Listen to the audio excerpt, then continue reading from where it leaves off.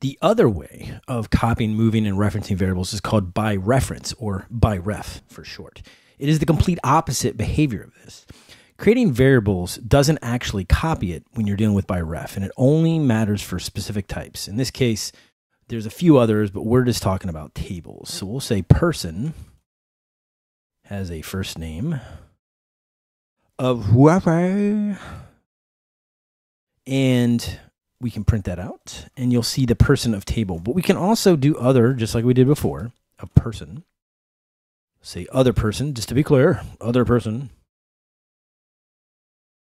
And when we run this and print them both out, you'll see that it references a table. And that table has a first name key or first name property, and the value is Jesse. And the same thing with the other person. So it's a bit weird to say the other person because technically this is a reference to the exact same value. It's not going to copy this table in this. So watch what happens when we go other person, first name, albusman.com. And then we copy pasta the print statements.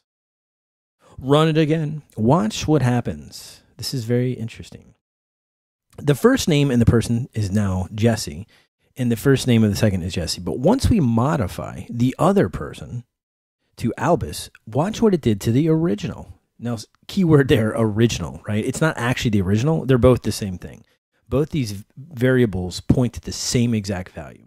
So when you're dealing with tables and other types of things like that, like functions and user data and things like that, it's all by reference. That means that the variable doesn't make a copy, it actually references the original value.